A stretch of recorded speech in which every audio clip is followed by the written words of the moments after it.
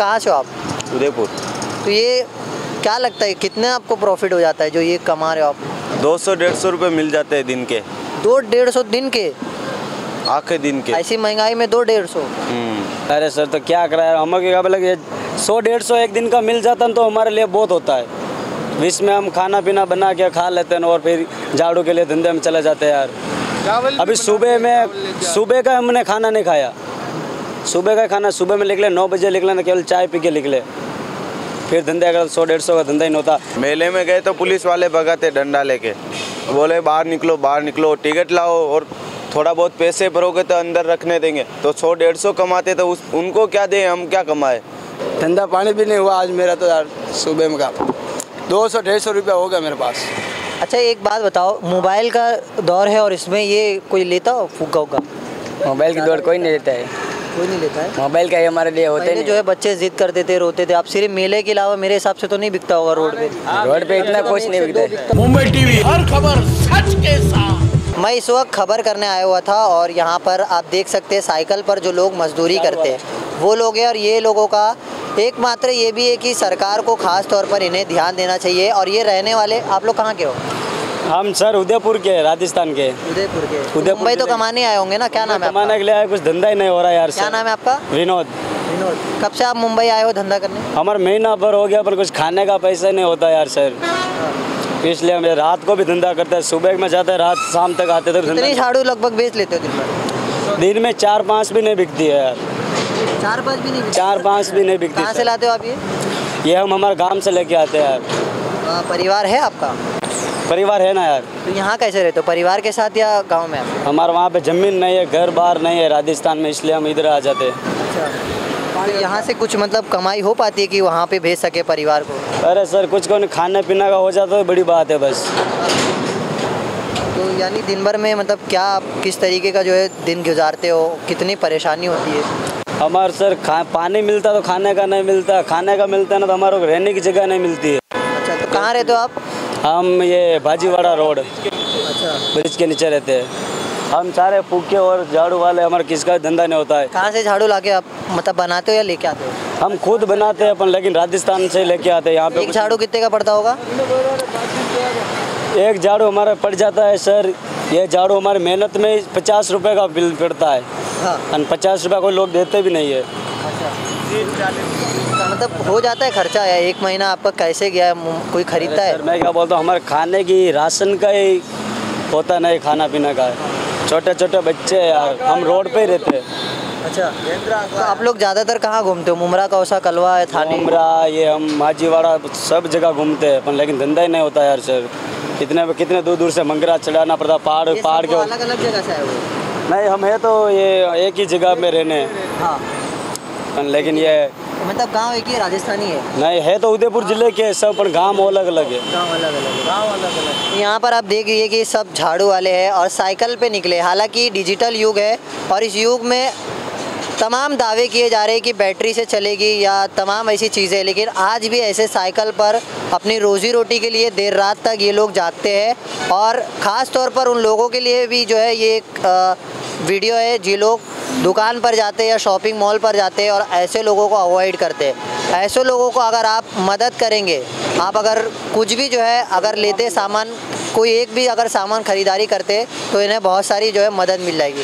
ये आप देखिए कि अक्सर आप मेले में देखते हैं मेरे हिसाब से ये सिर्फ़ जो है धंधा मेले में या बच्चों के वजह से ही चलता है और और ख़ास तौर पर आज के बच्चे। इतना डिजिटल युग में है कि वो दिन रात मोबाइल देखते हैं और ये साहब का तो दौर ही मीडिया होगा और इनसे भी पूछेंगे कहाँ से हो आप? उदयपुर। तो ये क्या लगता है कितने आपको प्रॉफिट हो जाता है जो ये कमा रहे हो आप? दो सौ डेढ़ सौ रुपये मिल जाते हैं दिन के। दो डेढ़ सौ दिन के? आखे दिन के। ऐसी महँगाई में दो डेढ़ सौ। हम्म। तो कैसे आपका चलता है फिर? आप अपना खर्चा देखोगे परिवार तो पण इसमें माल माल लेने के लिए आधा पैसा इधर खर्च हो जाता है। आधा पैसा? माल में जाता रहता है। ये बिकता है मतलब प्रॉफिट हो जाता है? दो दो सौ तीन सौ बिक जाता है। तो ये साइकिल आपको कहाँ से मिली? ये हमने ली है। आप लोगों ने खरीदा है हाँ, साइकिल खरीदा खरीदा खरीदा है खरीदा है। आप लोगों का गुजारा मतलब कैसे हो पाता है? एक रूम में आप भाड़ा भी देते होंगे अपना खुद का खर्चा है फिर गाँव में? है तो हम तो ऐसा चलते हुए मदद कर लेता मतलब नेता तो आप लोगों को बहुत लोग देखते होंगे। हम फुटपाथ पे रहते हैं हम सर हमारा फुटपाथ पे बहुत नेतागिरी वालों को हम बहुत भाषण देते तो हमारी कार्रवाई कोई नहीं करता यार। हमारा कोई सुनवाई नहीं करता है। अगर पुलिस में जाकर वोटर आईडी है? पुलिस भी नहीं करता है। वोटर आईडी है? है हमारे वोटर आईडी नहीं आधार कार्ड है हमारा।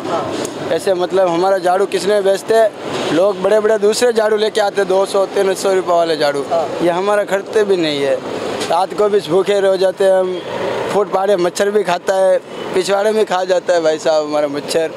धंधा पानी भी नहीं हुआ आज मेरा तो यार सुबह में का। दो सौ डेढ़ सौ रुपया होगा मेरे पास। अच्छा एक बात बताओ मोबाइल का दौर है और इसमें ये कोई लेता हो फुग्गा उग्गा मोबाइल की दौड़ कोई नहीं लेता है। कोई नहीं लेता है। मोबाइल का ही हमारे लिए होते नहीं। जो है बच्चे जिद करते थे रोते थे। अब सिर्फ़ मेले के अलावा मेरे हिसाब से तो नहीं बिकता होगा रोड पे। रोड पे इतना कुछ नहीं बिकता बिकता होगा दिन में। हाँ। तो इससे चल जाता आज मोमरा मेला था ना इसलिए हम वो मेले में गया ना। गुजारा करना पड़ता है भैया। मिलता है तो सौ डेढ़ सौ मिलता है उसमें भी गुजारा करना पड़ता है। अब इसमें देखो ये हज़ार रुपए का माल है। हज़ार रुपए का माल है। इसमें से आधे फुट फटे हुए निकलते हैं। और ये पच्चीस रुपया में एक पीस पड़ता है अपन को।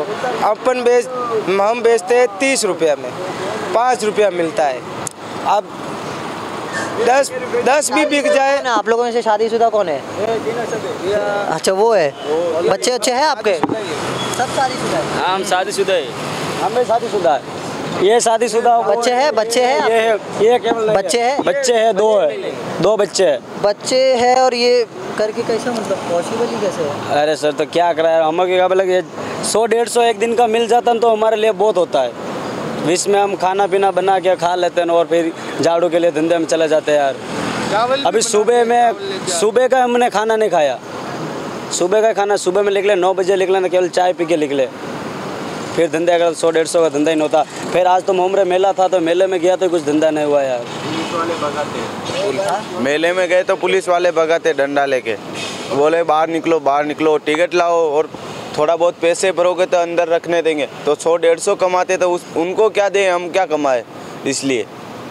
मेले में बहुत ध्यान रखने की बात है क्योंकि आप देखिए कि बहुत तकलीफ़ है क्या बोलेंगे? ऐसे बोल रहे हो, हम रास्ते में जाते हैं बोले कोई कस्टमर झाड़ू लेते तो लोग उबा नहीं खड़े नहीं रहने देते दुकान के सामने। मतलब हमारे को बिल्कुल खड़े नहीं रहने देते यार।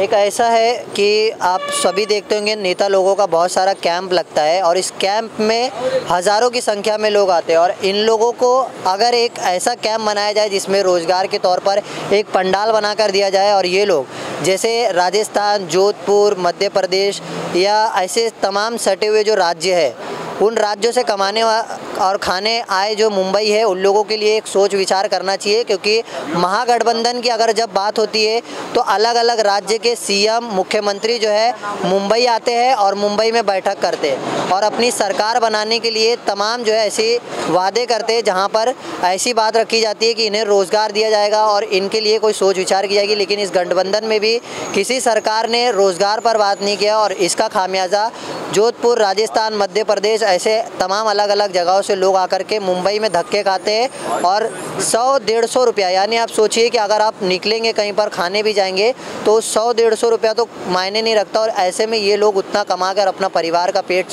पाल रहे इसमें इन्हें सलाम है। अब ये देखना है कि इन लोगों की आप लोग किस तरीके से मदद करते हैं और इस वीडियो को शेयर करके और भी लोगों तक बात पहुँचाए कि ये लोग अगर रोड पर कहीं पर भी मिलते हैं तो आप लोग जो है बीस पचास ऐसे सौ रुपया कहीं नहीं जाएगा आज के दौर में तो इन लोगों की मदद हो जाएगी तो आप ज़रूर जो है इनके पास से कुछ सामान खरीदिए। कैमरा मैन नावेद कुरेशी के साथ अफजल शेख, मुंबई टीवी।